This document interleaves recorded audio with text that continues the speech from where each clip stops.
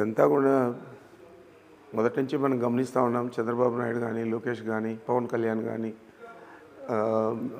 ఈ మధ్య పురంధేశ్వరి కానీ వీళ్ళు నలుగురు కూడా చాలా ఘాటుగా విమర్శించడం అసభ్య పదాల వాడడం నైరాస్యంతో మాట్లాడినట్లే కనపడుతుంది. దానికి తోడు ఈ సిద్ధం సభలు విజయవంతం కావడం ఆ తర్వాత ఈ బస్ యాత్ర సభలని కూడా విజయవంతం కావడం ఈ ఓర్వలేని తనం ఎక్కువగా ఈ రాజకీయ పార్టీలు ఏదైతే కూటమిగా ఏర్పడినాయో వాళ్ళలో కనపడుతూ ఉంది. మొదటి నుంచి కూడా మేము కొద్దిగా జాగ్రత్తలు తీసుకుంటా ఉన్నాము జగన్మోహన్ రెడ్డి గారి విషయంలో. బస్ యాత్రలో కానీ అంతకుముందు సిద్ధం సభల్లో కానీ తగిన సెక్యూరిటీ జాగ్రత్తలన్నీ కూడా తీసుకున్నాం అయినా కూడా ఇది అనుకోని సంఘటన.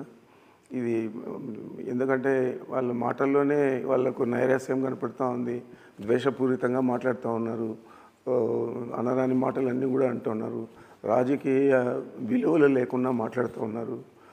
మరి వారు ఇది కుట్రపూరితంగా చేశారని నేను భావిస్తాను.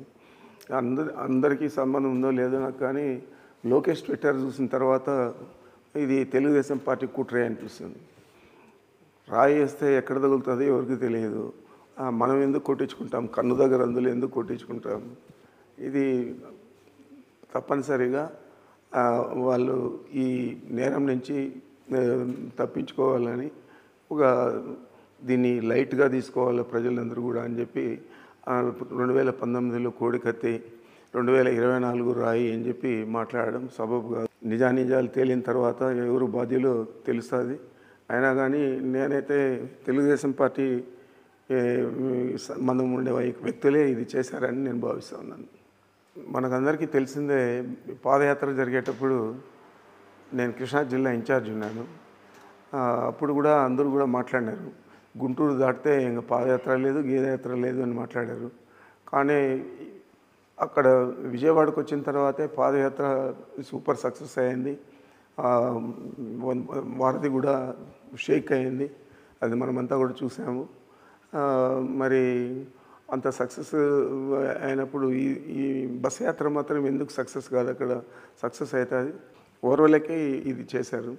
మరి ఏ విధంగా దీన్ని చూడాలో అన్ని నిజానిజాలు తేలిన తర్వాత వాస్తవాలు బయటకు వస్తాయి ఇంకా చెప్పాలంటే లోకేష్ చెప్పిన మాట ఆయనకే వర్తిస్తే ఆ స్కూల్ దగ్గర నుంచినే అక్కడ ఆయన ఒక వెహికల్ మీద నిల్చుకొని రాయితో కొట్టించుకుంటే అది ఎక్కడ పడుతుందో తెలుస్తుంది రాతితో కొట్టితే కూడా అది కావాలనే చేశారంటే మరి ఇంత నీచంగా మాట్లాడుతూ ఉన్నారంటే నాకు చాలా దురదృష్టకరం అనిపిస్తుంది. ఇదే ఈ రాయి వేయకుండా కూడా రాయి వేసినట్లు ఇక్కడ పార్లమెంటు బై ఎలక్షన్లలో చంద్రబాబు నాయుడు యాక్షన్ చేశారు. అట్లా ఆ విధంగా యాక్షన్ చేసేది జగన్మోహన్ రెడ్డి గారికి తెలియదు. జగన్మోహన్ రెడ్డి గారు ఏదైనా కానీ నేరుగా పోరాటం చేస్తారు తప్ప కుట్రలు కుతంత్రాలు ఇవన్నీ కూడా ఆయనకు తెలియదు. అందుకే నిన్న దెబ్బ తగిలినా కూడా నిలకుండా పాదయాత్ర రాత్రి శిబిరం దాకా వెళ్ళాడు.